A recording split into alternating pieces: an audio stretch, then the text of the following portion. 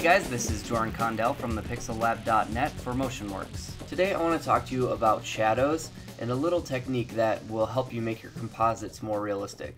So say you want to take these 3D speakers and composite them in a 2D scene. If you bring those in and try to place them on a background, uh, so they're kind of sitting there, you'll notice that the first thing is we don't have any shadows and they look terrible, right?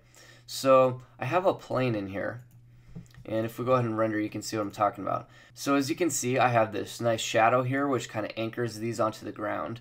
Uh, but the thing is, I can't actually bring this floor in. I need an alpha channel so that we can composite that other background in. But I still want this shadow. So how are we going to do that? Alright, so I found this cool plugin. It's kind of buried in a forum.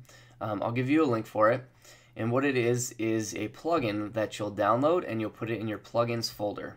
After you uh, put in your plugins folder and restart Cinema, you're going to go to plugins and you're going to drop it down and you're going to be like, it's not in here, must have loaded wrong, whatever. Don't worry about it because it's not in the plugins folder. All right, so we are going to put this on the floor plane actually. So we'll make a new material, open that up, and disable all the check marks and then check on alpha. This is um, the important part right here. In the texture, on the bottom of your dropdown, there's Shadow Catcher. That's the plugin we just installed. So go ahead and click that. Now, one thing you really need to remember is you need to invert it. Make sure to check invert. Then it will look transparent. What we're going to do is drag that onto our floor. Now if we render, it's going to look like there is nothing there, right? But if we uh, do a full render, and what you'll notice is that it's actually scanning all the areas of the image, even the ones that are black. So that tells you that something's going on right there. So if we open up After Effects, we'll go ahead and reload this one.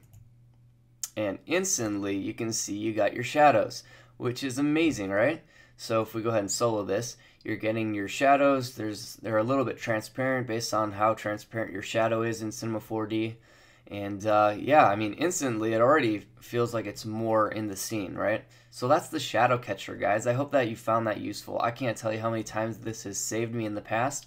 Um, just bring, being able to bring in your shadow with the object is such a time saver. There are some other workarounds, but I mean, why would you do that if you can have the shadow catcher, right? If you want some more training and free resources, please check out my website at thepixellab.net. Thanks, guys, and I look forward to talking to you again really soon. Bye, everybody.